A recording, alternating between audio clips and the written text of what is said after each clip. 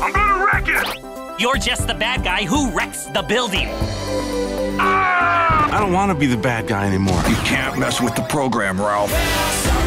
Welcome to Game Central Station. Ralph, you game jumped? I mean, everyone here says I'm just a mistake. I'm not leaving you here alone. Ah! Ralph, you are bad guy, but this does not mean you're bad guy. It's make your mama's proud time. I love my mama! Disney's Wreck-It Ralph, November 2nd, rated PG.